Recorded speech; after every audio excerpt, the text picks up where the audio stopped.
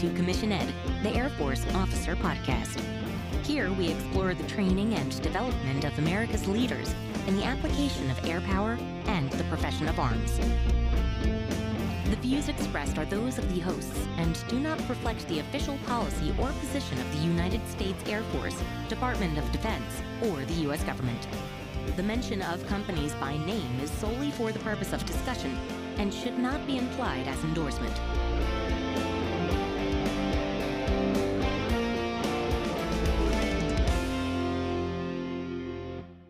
Welcome back to another episode of CommissionED, the Air Force Officer Podcast. I am Colin Slade. And I'm Reed Gann, and we're your hosts for CommissionED. So, Colin, like you discussed last week, and we promised our audience, we are going to bring you another episode with the fine gentleman from HAF A1H, which Lieutenant Colonel Hawkins and Major Nardelli. This week, we're going to discuss the Airman Leadership Qualities, the ALQs. Now, quick background Colin, HAF A1 actually reached out to you and I back a few months ago Mhm. to get our opinion and our feedback on these ALQs. They gave us a little inside baseball that hey, these are going to be important. This is, you know, forming the basis of our evaluation system. What do you guys think? Get it out there in the world. And we did that. Enjoyed those episodes. A lot of really good thought. I thought, you know, went into that. And now they followed up. They wanted to give us feedback and allow us to, you know, continue to work through this because as we'll discuss, Colin, they know that they don't have this 100% right Mhm. and feedback is the only way we're going to get better and this matters which is i think what the basis of this conversation will really point out and i'm looking forward to bringing this really important conversation to the folks that listen to this podcast Yeah, these ALQs, they're not going away. They may not look exactly like what they do right now. And we'll get into how that transformation, how things can change in the interview and then in our commentary. But this idea of having a more concrete way of knowing what it is that we value and how to measure it is not going away. And so we have to get this right. Now, is it going to be 100% right? No, because it can't be. We can't appease every single person that listens to this podcast or that happens to join the Air Force or wear their uniform for some amount of time. But we can try really hard. And this is our effort. This is their effort in order to move things in that right direction. So, once again, welcome to Lieutenant Colonel Hawkins, Major Nardelli. So grateful to have them both on the show. We'll turn the interview over to them. All right, Jim, Josh, thank you so much for coming back for another episode. Appreciate the knowledge and experience that you shared with us last week about the 38 Foxtrot career field.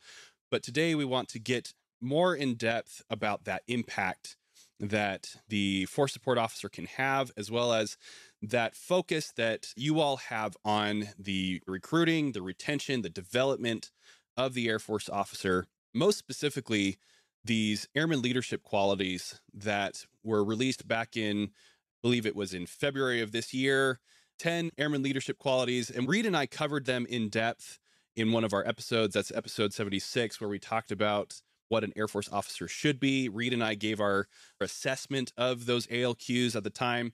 And, you know, since we put that episode out, we have been in contact. Jim and I, you know, we've shared some emails, some conversations back and forth, and the opportunity presented itself for you to come onto the show and share your perspective from HAF A1, because that's where you both were working on these ALQs and putting out that policy, that strategic vision for the Air Force. And wanted to absolutely give you the space, the platform to where you could share your experience, your perspective, your reasoning for putting these things out there to the Air Force and have a little bit more conversation about it. So, Jim, let's start with you. Since, as I understand it, you were one of the originators of the ALQs. This is your brainchild. So, where did it come from? And what sort of need, what sort of problem were you trying to solve for the Air Force by generating and putting out these ALQs? Thank you, Colin. First of all, I have to say that I wish that these were my brainchild. As we were kind of talking on the last episode, right, about that force wide impact The one thing is, is that usually at the air staff level, it takes longer, Yeah. right? Because you have that force wide impact. You have to be a little bit more deliberate. Even as we work to accelerate change, some of these projects just take a very Sure. long time. So I will say, to give credit where it's due, my predecessor on the project was Major Kevin Slaughter. I've met Kevin. He's fantastic dude. Yes, yes. Imagine trying to replace him. Yeah, sorry. Mm, Yep. Yep. Couldn't do it. so he was part of, and it was also a, a whole of team effort that the talent management innovation cell as a team within the A1, A1H is the office abbreviation. They, as a team, developed these. And Okay. to your question of what's the problem that we're trying to solve, it's really not necessarily a problem that we're trying to solve, but we're trying to make sure that we have a means to articulate what the Air Force values in performance and the characteristics that we want to define and incentivize and measure our airmen's performance. And that, especially when you look at some of the aspects when we're working on how we evaluate performance, how we give feedback on performance, especially on our officer side, which is, I know, our core audience here. So, to the group, all the ALQs do apply, are being used for feedback by our enlisted and officers. Our conversation today will probably be geared towards specifically officers. As you will know in our evaluation system, it's meets, does not meets. And we have these six or seven performance factors that no one really looks at unless we're thinking of saying someone did not meet standards. Yeah. Right. We try to give tailored feedback to it, but it really just it wasn't clicking. And we were hearing from the service, from the officer corps, hey, we need more. We want more. And then additionally, from the Air Force enterprise wide level, we were looking at how are we making these talent management decisions? Mhm. What more information can we bring to those decision cycles as we move places and make sure that we're putting the best person in the best position at the best time or the right person, right place, right time? Right. And so that's kind of what we're using the ALQs, or that was the reasoning behind their development or part of that rationale. Yeah, it makes sense to me. My experience coming into Air Force ROTC being an instructor was hey, my responsibility is to develop people to become an officer. But there wasn't anything like that I could concretely say, this is what it means to be an officer, which is, you know, obviously one of the themes that we carry over across this entire podcast. And so, like, I knew in my heart of hearts what right looked like, right? I knew what the good officer was capable of, the type of performance that they would exhibit, way that they would communicate and carry themselves. I had seen it before. I knew what I was supposed to produce in that respect, but I couldn't point anybody to it. I couldn't say, Cadet Snuffy, these are the things that you are being measured on. And if you don't meet these standards, you will not receive a commission. But here's the thing my top five cadets, super easy to identify, right? Everybody knows who their top five is. Everybody also knows who their bottom five are. Those people are really easy to identify. It was that fuzzy middle that was always elusive. And when they would come to me for feedback, I would be at a loss because I couldn't say, okay, this is where you are falling short because I didn't have the standard. I didn't have something concrete. I didn't have a rubric or anything that I could measure them off of. And if I couldn't measure cadets, well, that was also true for my own performance. How could I measure my growth, my development, my level of performance, and say, this is where I'm falling short, this is where I'm doing well? So the feedback for myself was not as good as it could have been. And then you just extrapolate that across the entire Air Force. And it makes total sense to me why Kevin Slaughter, why you, Jim, were you know involved in this effort of producing something that we could then point to toward to say, these are the things that the Air Force values in its officers, and beginning that process of learning how to produce it, how to replicate it, how to recruit it, how to incentivize it, as you said, and have that be the thing that we become over the course of time. Absolutely. And, you know, one of the things I'll say, you actually hit on the two kind of major players in an evaluation system or even a performance feedback system the rater or supervisor and the ratee or the airman, Yeah. right? The one who's receiving the feedback or receiving the evaluation.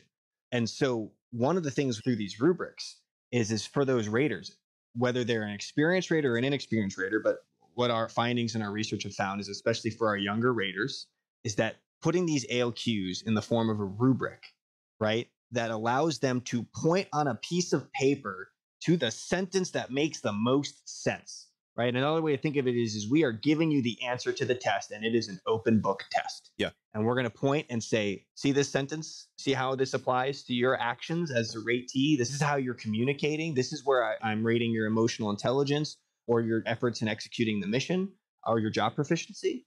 That we can point to it. And then, even better, we can point further down on the rubric and go, and this is how you can get better. Yeah. So that even if that's not a strength for you, you can still use that rubric as the rater to help guide and facilitate that conversation and point your ratee, the fuzzy middle, as you will, help them find a way to improve. And same thing for those officers for your top five. I would be hard pressed to find that in any one of those five that they're excelling in all 10 ALQs. You mean they're not firewall fives? They're not right? just on the right column for everything that they do. They're not just, you know, God's gift to the Air Force. Exactly. You're hitting on another issue, right? but that if the rater and ratee, especially the rater, is being honest with their assessment and the ratee is open to hearing that honesty, right? If they're comfortable with uncomfortable conversations, it allows those top performers to continue to get feedback so that they can sustain that superior performance and grow as well. Because oftentimes, those top performers, the feedback's like, you're doing great. Just work on the margins, right? I know it when I see it, and what you're doing makes sense to me. So just keep doing it. Mhm. Instead of like, hey, you're great. Like my last supervisor sat me down and, you know, was like, hey, you're a good communicator. It's one of your strengths, but XYZ. And she gave me Yeah. solid feedback on how to become an even better communicator, which is something that I need to continue to do as I continue in my career.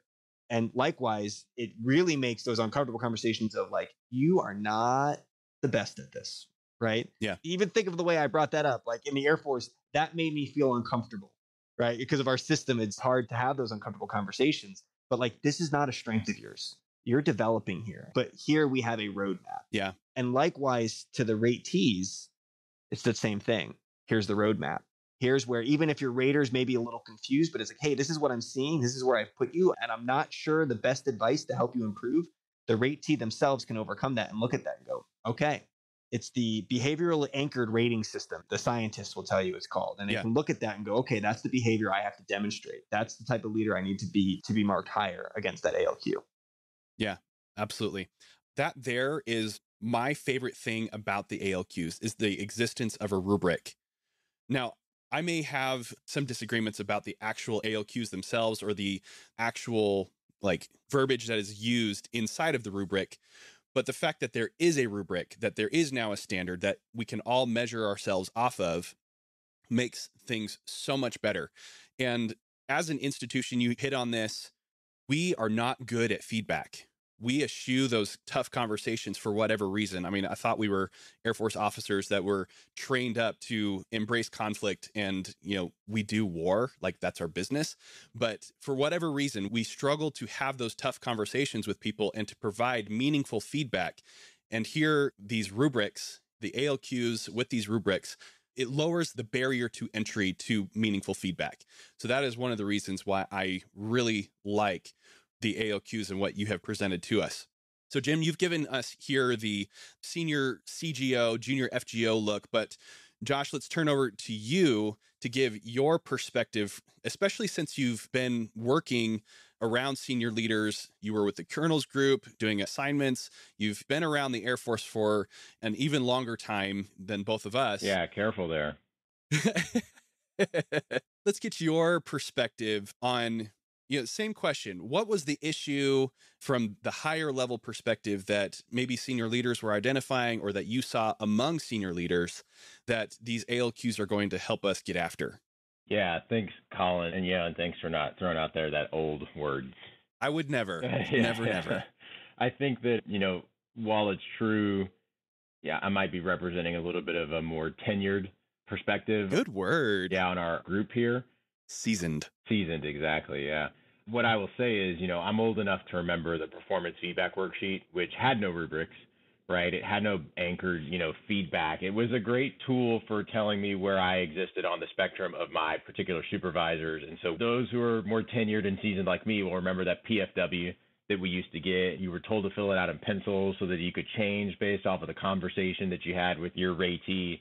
And we transitioned to you know, another form of performance feedback, and then we transition to the Airman Comprehensive Assessment. And so moving to the Airman Leadership Qualities, in some regards, like I think we all equip across our career, you know, what's old is new again, and the only thing that stays the same is change, right? And I look at it not so much tongue in cheek, but more for the fact that I believe from what I listen to our senior leaders who set this in motion, you know, starting at the chief of staff at the Air Force level, is we were working to modernize and we are working to modernize our talent management programs. And feedback and evaluations are critical components of human capital systems that do talent management. Yeah. In the military, we usually call those personnel programs, but truly what they are is about how you manage the talent that the institution has. So to me, I think that's the biggest reason, you know, why change? Well, because we identified that we need to modernize how we're doing our talent management, both feedback, which I love the point you said, Colin, that we just need to recognize that as we've changed as a force, as the demographics of our force have changed and the experiences that those people, that the airmen come into the force with change, we need a, a slightly different tool to help prompt that feedback discussion and that our legacy form and our legacy paper wasn't really giving us the feedback experience that we wanted our airmen to have. And frankly, it wasn't giving us the feedback from a comparative standpoint of what performance looked like because Yeah. that turned into what the evaluations look like. And then, you know, and we weren't able to do the best at comparing people across the institution.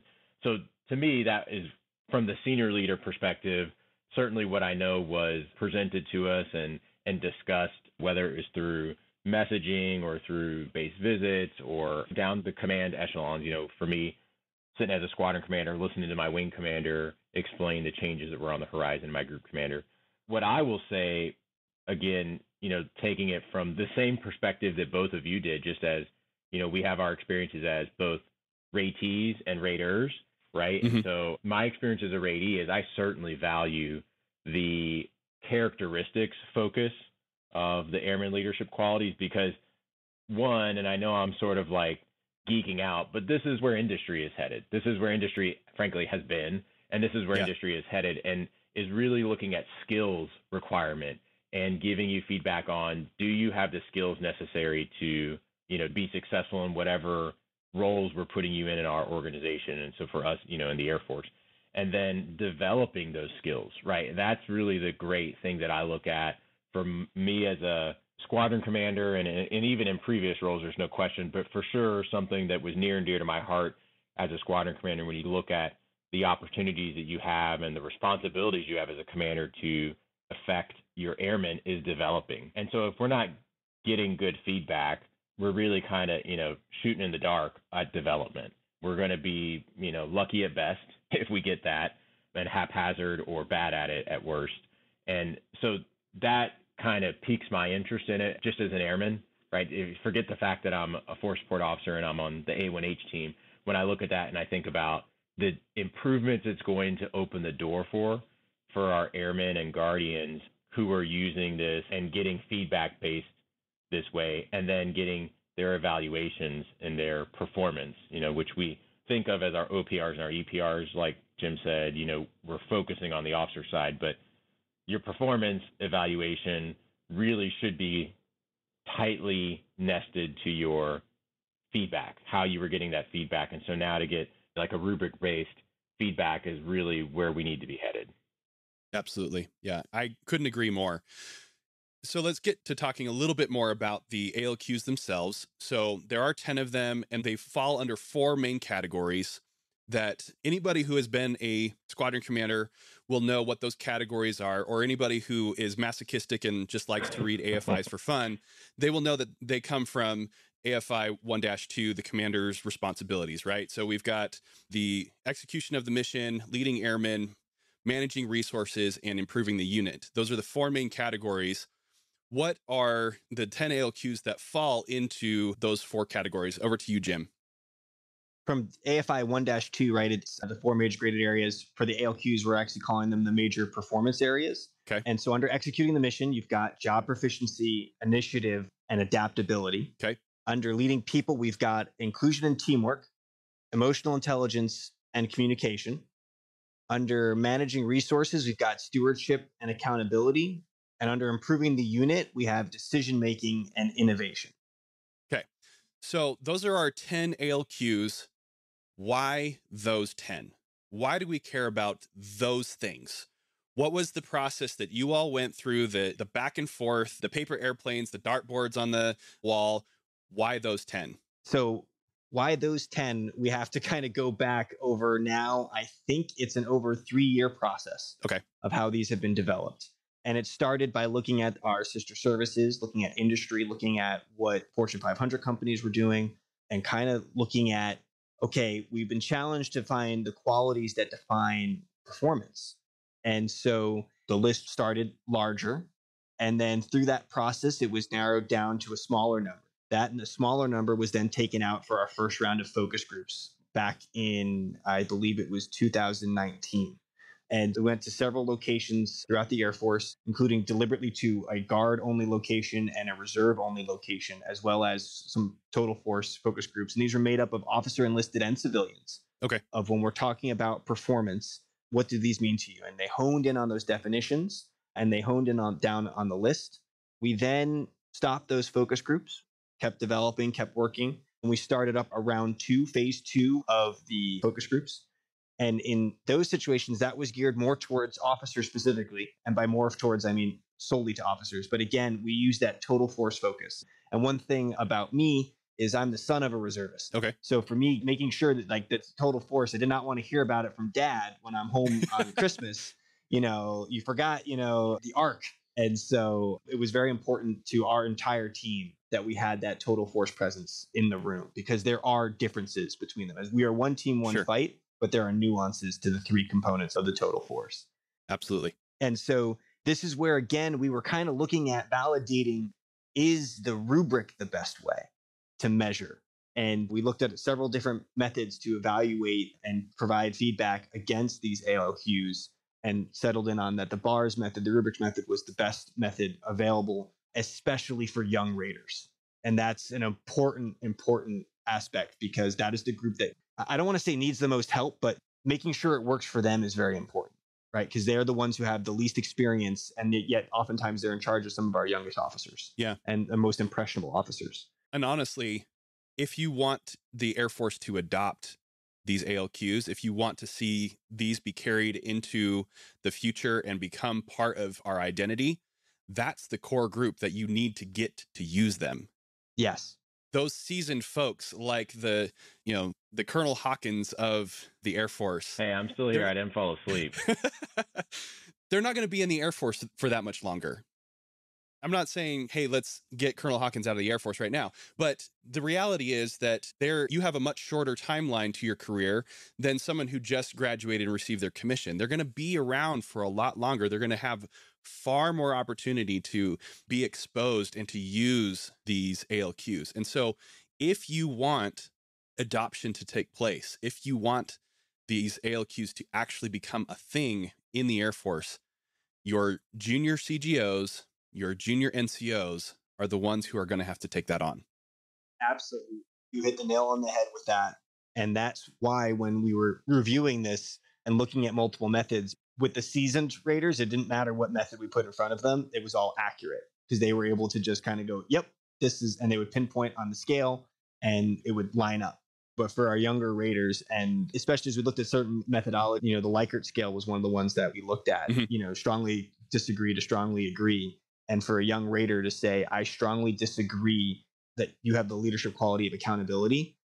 We talk about uncomfortable conversations. Yeah. That's really tough. Whereas just saying, being able to say, you're developing Mhm. in your ability to be accountable. And here's the roadmap to success going forward. So that played heavily into the considerations when we were looking at this. Sure. Another interesting uh, point about the phase two focus groups is that we had gone to two bases, and then a little thing called COVID 19 happened. I don't know if you heard about it. and we switched to an all Zoom format, just like how we're talking to each other right now. What was kind of interesting about that is it actually allowed us to interact with more airmen than we could have if we were limited to the locations that we were going to.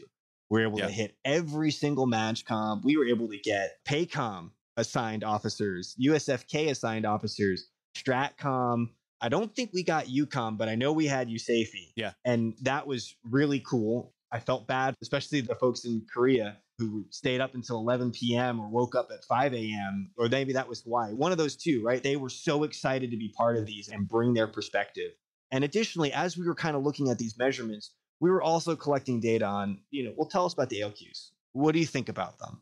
And as we exited phase two, is when we solidified around these 10. Okay. And then began the work of how do we get these out to the field? And how do we continue to gather feedback on them? And so, as we were looking at that and talking amongst ourselves, what's the best way to get this out and get this out quickly to the force? Because we, we have a good product here. We validated it, we've put it in front of airmen and they too are saying yes this is a good resource. And to your point colin you know the vast majority of them are like hey yeah i may not like one or two or i may not like i may not like five but i like this product. Yes. i like what you're doing with this. Let's get this out. And that's where the 724a the addendum to the ACA was born because here was something that we could release push out to the service or now to the DAF to the department and use it as an optional tool. And i know the probably the most commonly asked question we get is is, is why'd you make it optional and what I'll say to that is one of our mantras is first do no harm.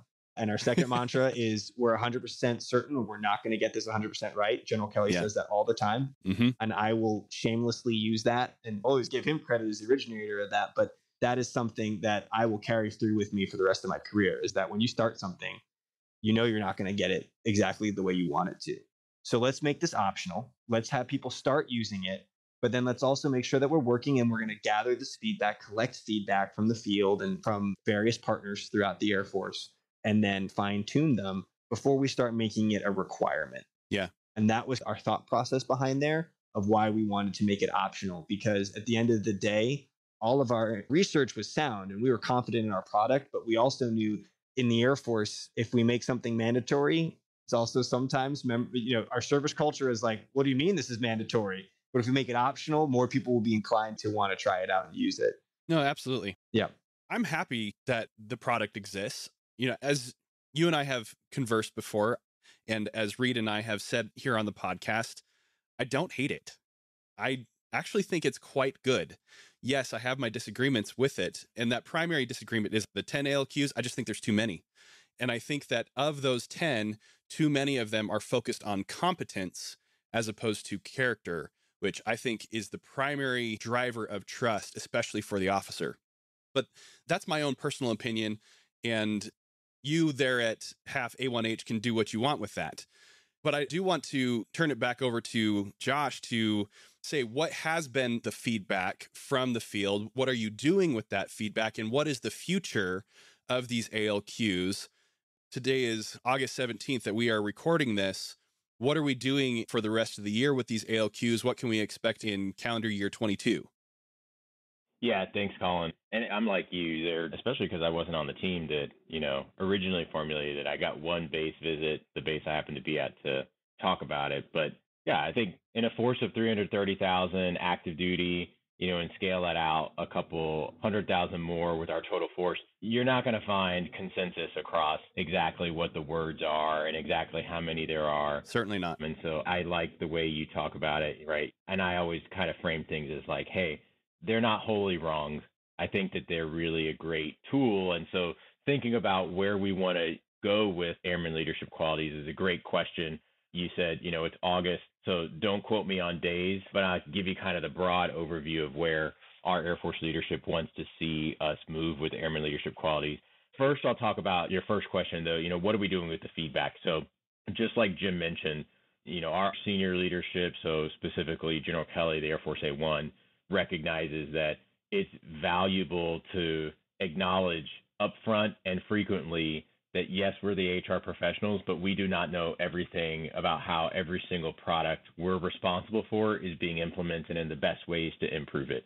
And so that feedback that we're getting is being integrated into some decisions on what the final verbiage of the ALQs will be. Some of that could be the actual uh, rubric that you see verbiage on the rubric. It could be the ALQs themselves. I don't think you're going to see us come back with 10 completely different ALQs. That's just Right. not how getting feedback from the force works is like, oh, we're just going to start over and try again. but I certainly believe that we're going to be responsive to the feedback that we're getting. One, I'll tell you my own personal conversations with folks in my network, and you know, it spans the grades. I'll be honest, I haven't talked to a second lieutenant who's used them, but I've talked to lieutenants who've received them, all the way up to colonels and GOs who have used them. And the feedback is that they're great, that there is some discussion about how exactly do I frame one of the particular airman leadership qualities. So, you know, everybody doesn't have the same one they kind of cage in on, but yeah. that is generally the feedback is how do I frame that for my particular experience officer? I know we kind of quickly go to rank. When it comes to leadership assessment and characteristics, I tend to really look at it more about experience and demonstration, really, you know, what is the person demonstrating? And so maybe that has to do with rank, particularly when you think the traditional pathway, some people gain experience. But to be specific, I think somebody may ask, and I'll pick one, which could be, you know, stewardship, right? And so I think it's an easy, and I picked that one on purpose. Okay. Right. Like it's an easy one for folks to kind of get that mind's eye concept of like, well, what does stewardship look like for a lieutenant that has few financial resources directly under their responsibility or authority? And I use that keyword directly. Yeah. Versus maybe a squadron commander who's got, you know, a budget under their authority and probably they're not the ones like directly dispersing it or whatever, but it, they're responsible for it, right? Sure. And to that response, I would say we need that feedback to keep helping us understand if we've got the right rubric definitions, how we fully roll the ALQs out. And this is kind of my segue to the long term connection of the ALQs is evaluation. Right. Right. So, how is your performance going to be evaluated on the ALQs? How do we teach and train our force to be able to effectively provide feedback, which is critical for effectively rating performance? Yeah. And so, what I anticipate you'll see again, I said you, you talked about it's August, and I said don't quote me. So hopefully I gave you a good answer for your first one. For the second question, you know what I expect all of your listeners will see going into the fall is for us to continue facilitating that feedback. We're, we're actually a couple of days away from pushing out a second Air Force wide survey. Okay which goes out, you know, randomly to Air Force officers and enlisted across and civilians across the force because everybody's using these to provide feedback. If you're a rater of an officer, senior NCO, these are available for you to provide the feedback. And we use that data from the Air Force Survey Office. So if you've got a listener that gets that email and it's from the Air Force Survey Office, please follow through with it. Don't ignore it. And give us, yeah, don't ignore it. Give us the feedback. I know that those are sometimes the ones, you know, you set to the side and you're like, I'll get to that at the end of the day just pay attention to the closeout date and get to it before the end of the day on the closeout date. And so, you know, that feedback is likely to keep running through the fall, maybe into the winter timeframe. Looking ahead into 2022, I would expect that our Air Force senior leaders decide on a specific time frame that they want the airman leadership qualities to be the foundation for what feedback looks like in the Air Force right now. It's important that Jim mentioned that these are optional. Yeah. You know, I would expect based off of us talking about wanting to modernize our talent management processes and recognizing that where industry and the American workforce is right now is focusing on skills and attributes and giving feedback in that arena. I wouldn't be surprised if our senior leaders look at this for the entire force, irrespective of your grade. Yeah. Right. And so I think that that's something that is probably reasonable to anticipate in 2022.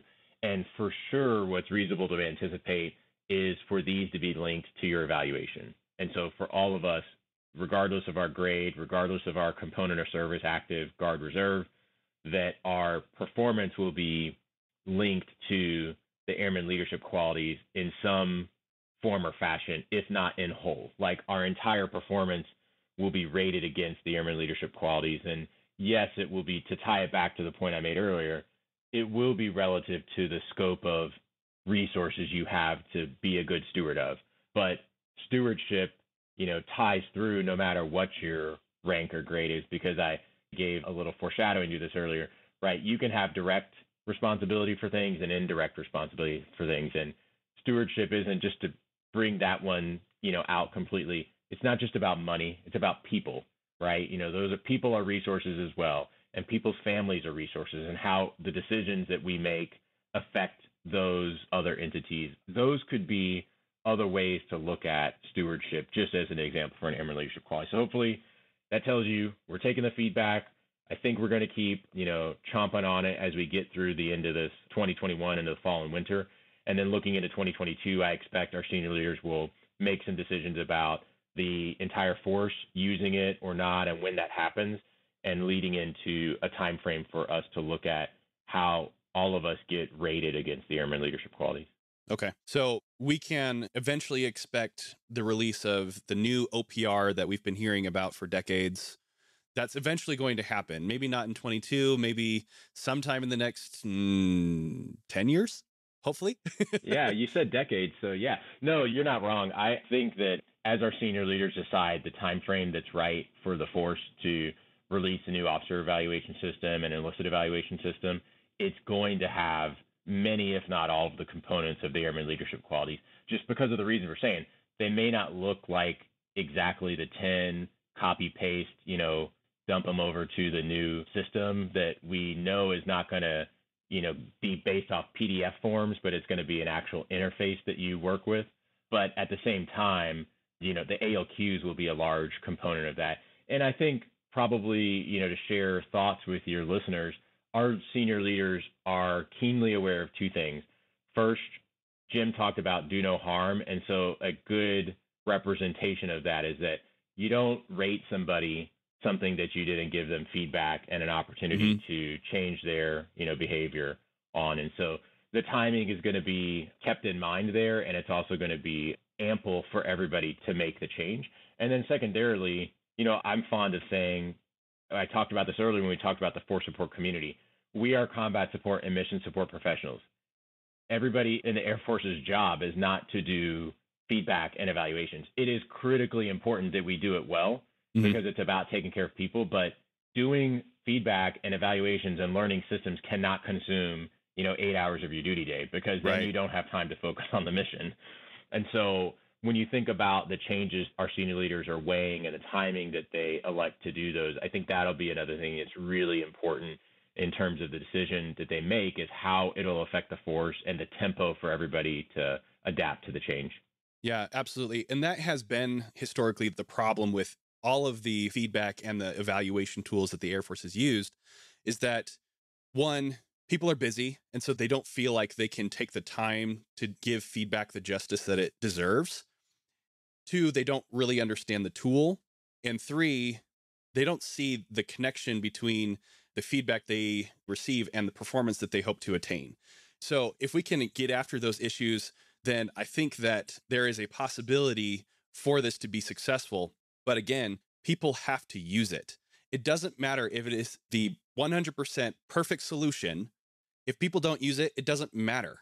So, Jim, you quoted General Kelly. We all know that it's not perfect we are 100% certain it is not 100% correct, right?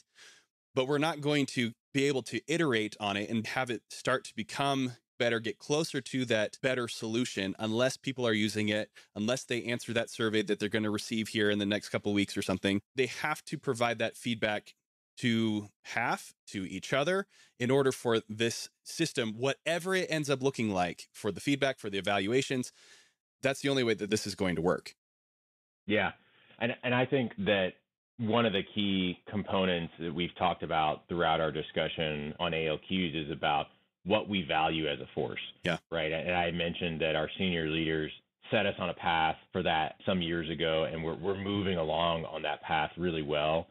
But it's coming back to the reality that we can profess to value these, but if we're not using them as a force and we're not providing not just feedback to our ratee, but feedback to the institution about whether these are right or not, then we're not going to get to that best product like you talked about. And I'm sure that Jim's got a comment on that too, but I, I jumped in before he could.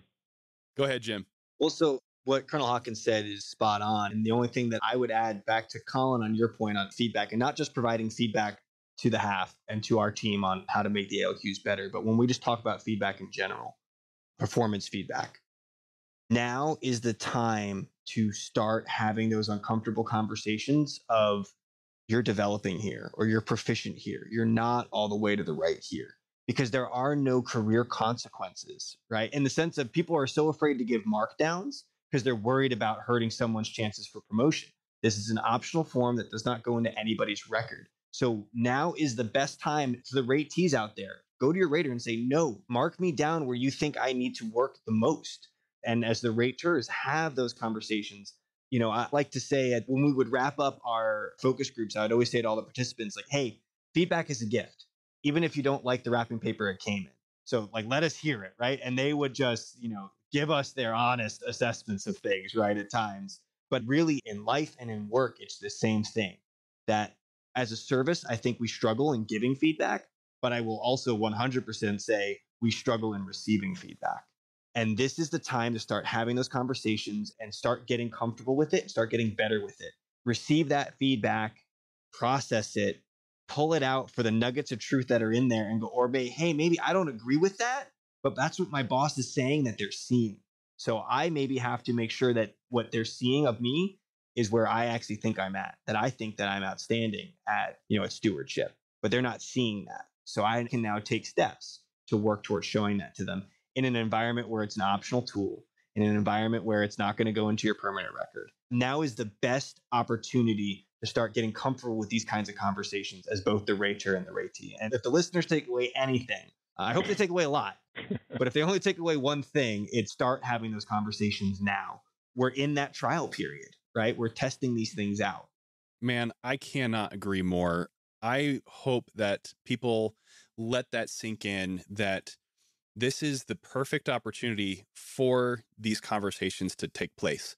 You know, the Chinese proverb goes, the best time to plant a tree was 20 years ago. The second best time is now. Like we could have gotten this right ages ago, but we didn't, right?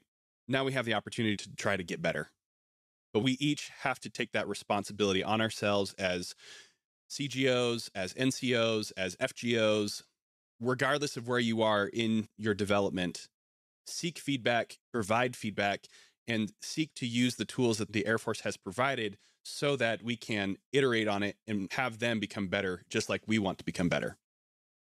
Well, gentlemen, this has been a fascinating discussion. I have learned so much, not just on the ALQs, also from your experience as force support officers, also from your perspective sitting there at HAF A1H and bringing the strategic vision from our senior leaders to this podcast, to our audience. Thank you so much for taking the time to share all of this with us. Now that we are at this point, if anybody wants to provide more pointed feedback beyond the survey that they're going to receive here in a couple weeks. If they have something that they want to send directly to you, Jim, directly to you, Josh, what is the best way for people to get in touch with you? Or again, it doesn't have to be about ALQs, it could be about being a force support officer. If there is anything that they want to get in touch with you, how is the best way to do that, Jim? So uh, for me, it's probably through the global on email. They can shoot me a note. I will say if it's feedback for the ALQs, I will happily talk with them and then I'm going to forward it to the A1H team since I'm starting my job at Andrews. And it's not that I suddenly stopped being passionate about it, but you know, I'm out there at the mission level doing what force support officers do best. And so I'm going to hand it off to the team that does the other thing that force support officers do best, which is at that Air Force wide policy level. Excellent. But please, I'm the only James Nardelli in the Air Force in the global. There's some Army guy who keeps beating me to every promotion. And like we've been in so many of the same locations, like one year apart, and he keeps getting emails. He never forwards them to me. So if you have you met him yet? I haven't. Send him an email and say, "Hey, bro, we're gonna meet up and have a throwdown to decide who right. is the true James Nardelli." And the best part is, is he goes by Jim as well, and it's Jim in the global. Perfect. And so he's gotten many an email on my behalf. So in the global, I'm the only Air Force James Nardelli. Excellent. Yeah, sounds like you guys need to have a battle of Joshes out there or something, Jim. exactly. Um, yeah. uh, I know something about that. No, I'm the same way as Jim. You know, the global is great. I'm the only Lieutenant Colonel Joshua Hawkins. My brother routinely gets emails, and I routinely get emails for him. But you know, we email them to each other because he's Colonel Ronnie Hawkins. But you know, that's a great way. And then MyVector, you know, for sure. Any folks who have got career questions sitting out there on the MyVector mentoring platform so you can look me up through the MyVector platform as well. Happy to engage through either mediums. Excellent. Well, thank you so much. All right. So you've had a couple of episodes to think through it, Colonel Hawkins. The time is now. The audience wants to hear what does it mean to be an officer? okay, thanks, Colin. Yeah, I'm a little bit more of a an old school thought process on it. You know, I appreciate one of your episodes where you talked about the commission. So, you know, I think that that ultimately is where I'd start. You know, the commission to me is for each of us as officers, irrespective of our branch of service. It represents authority that is vested from the president through several echelons, sometimes many echelons, depending on what your rank is, down to you to represent that commander in chief or command authority to your formation, whatever that formation may be. It may be one person you're leading on a team, it may be a squadron, it may be a group, a wing, it may be the whole Air Force, right? And so I start there, but I don't end there. Where I really take it from my experiences, I already alluded to it as team. An officer is a part of a team. There are instances where they are the leader of the team. They've been designated by virtue of their commission to be the leader of the team. That isn't all we are, though. We're teammates, we're followers, we are people who recognize our responsibility and the authority we've got to develop both people and the mission are two things that I think about a lot. And so when I think about, you know, the commission and what it means to be a commissioned officer, I think about the authority and the responsibility, but I recognize that you know, that's, I don't want to say it's something that you switch on and off, but it's not something that is constant. Your time in authority and leadership will come and go, but your role as a team member is always there. Yeah. And so those are the big things that I think of and look for both holding myself accountable to and look for other officers uh, to be demonstrating as well. Absolutely. Love it so much. Thank you both, gentlemen. This has been very instructive. Again, I hope that the audience will allow the wisdom, the experience, and the the passion that has been shared here to to become part of them, to encourage them to be better themselves, to provide that feedback to you, to others, and ultimately just try to make our Air Force and our officer corps as good as it possibly can be because the American people deserve it, our airmen deserve it, and I could not be more honored to be part of this team, as you mentioned there, Josh, because man, our Air Force is not perfect, but it is great. Anything else that either of you want to share before we turn off the mics here? Just thanks so much for having us. This has been great. Yeah, I would echo, you know, thanks for giving us the opportunity to connect with your audience and look forward to hearing from them and continuing to hear the discussions that you're leading. So thanks for the work you're doing too. Thank you very much. All right, Reed. We have had a lot of information brought to us by Jim and Josh about the force support career field, how they get involved in the personnel, the career development, the acquisition of talent, the retention of talent. We've heard a lot from them and where the Air Force is going with this. But they also mentioned that this is where industry as a whole is going. I just want to address that a little bit because I'm now seeing those things in my new career. Yes, I'm still in the Air Force, but in the reserve, do it part time. So my full time job is out in the industry that they mentioned. And what we are seeing is that so much of what's going on right now, especially with the post COVID world, the resetting of how industry does business with remote work, the flexibility of schedules, those kinds of things that if talented people have the option of going someplace else, then they're probably going to do that. And so, this whole discussion about what 38 Foxtrots do and now these airman leadership qualities is all about making sure that when we meet those Maslow's hierarchy of needs, which we addressed last week, and we reach that pinnacle of the hierarchy, which is self actualization, people are going to go where they can find self actualization, where they're able to do that. Ask yourself, why do people want to come into the Air Force and then why do they stay? It's because they see an opportunity to have their needs met and then participate in self actualization. And we're seeing this in the Air Force, we're seeing this in industry. If we don't get this right, those talented people will leave the Air Force. They already are. but they're going to do it in greater numbers as soon as the pandemic is over and the economy starts growing again. We're going to see this happen. And so the Air Force has to get this right now. Yeah. And like you said, this is a small part of a much bigger trend. Almost entirely gone are the days where you were born in a town, you worked at the local factory for the next 40 years, and then so did your children. Like that era has passed. Yeah. Almost entirely. There are still remnants and it still exists. Well, and the military is kind of like the last bastion of that type of thing. Exactly. And that's exactly where I was headed, right? Is it was only a few years ago that our 20 year retirement changed significantly. Now, that is a component of the blended retirement system, but overwhelmingly, the intent of that system is to allow people to be more mobile, Mhm. to leave earlier with something. That was Yeah. the intent of the blended retirement system. So no longer is it all or nothing at 20 years. That carrot is gone.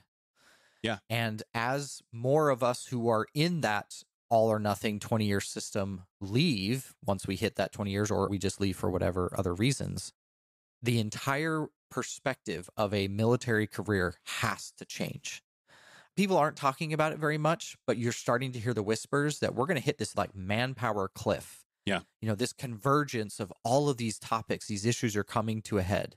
And this feedback idea is so important in order to keep us equipped with the right talent that will be required to be successful in our future endeavors. Yeah. Because feedback is what helps people know that they are fulfilling that self actualization piece of it and some of the lower levels too. And also where they need to improve in order to get that self actualization. Yeah. Otherwise, you're just wandering around in the dark. Yeah. Ultimately, the discussion around the ALQs and this idea of feedback is that the ALQs and feedback, just in general, is a retention tool for the Air Force. And we mentioned it in the interview that historically, we have not done well at feedback. It didn't matter what the tool was, whether it was a performance worksheet or some sort of assessment, your initial midterm, final evaluation in the form of an OPR, eventually the most recent change, the ACA addendum. It doesn't matter what the tool is if people don't use it and provide feedback on the feedback tool. Does that make sense? Yeah, no, absolutely. It 100% does. And I wanted to point out a recent experience that I've had using the addendum, using these ALQs to help me help my boss stratify officers.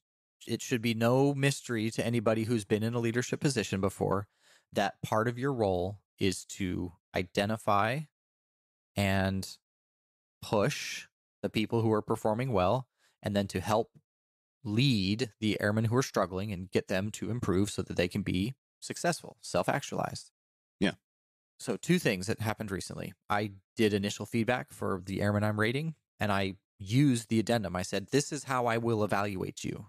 Most of them had never seen it. Okay. So, that's one thing of note. You know, so feedback to Major Nardelli and Lieutenant Colonel Hawkins, most of these folks, all officers, had not seen this document before.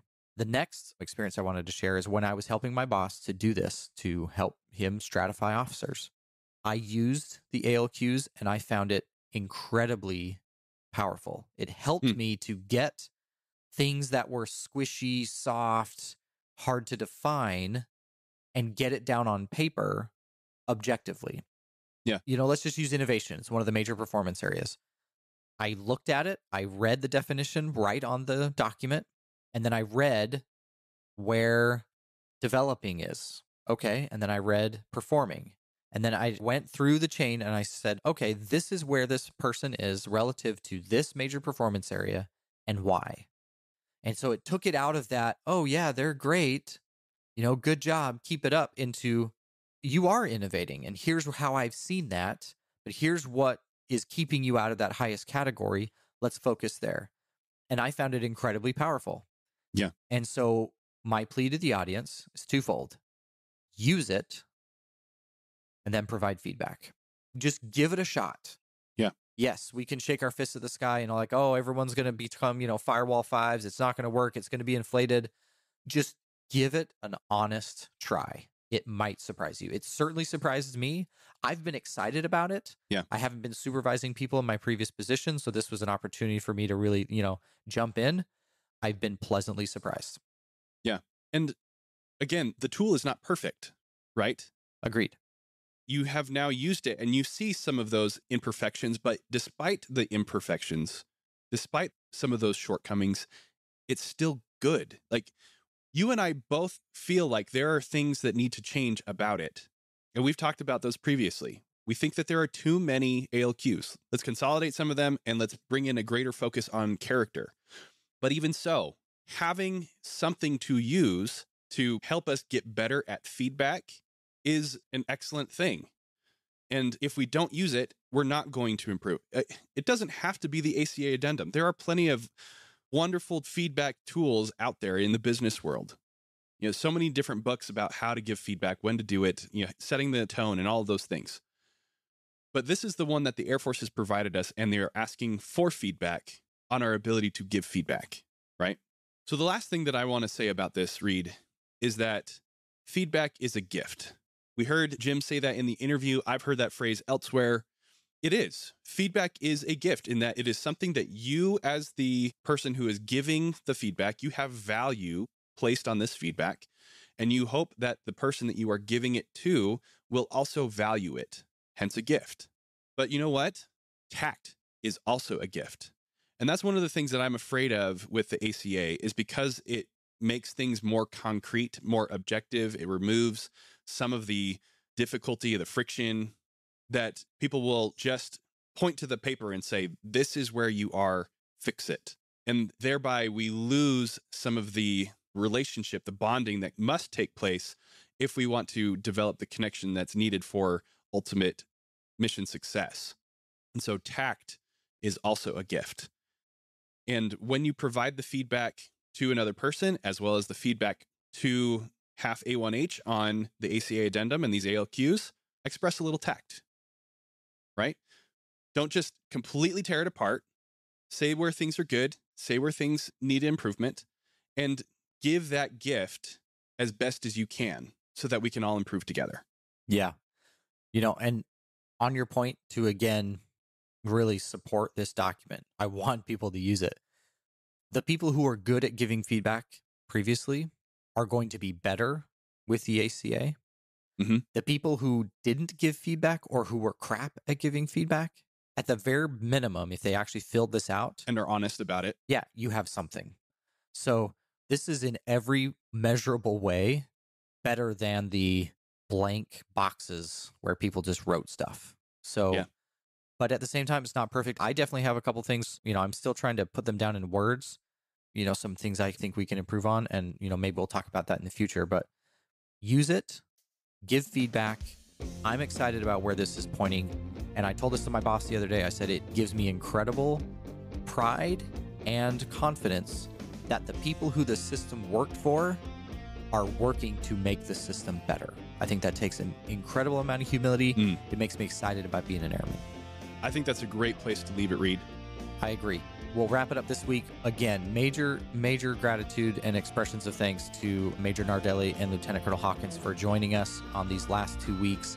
Immeasurable amounts of knowledge that they dropped. I'm so grateful. I learned a ton. Hopefully, you did as well. And that'll do it. And thanks for joining us on this week's episode of CommissionED.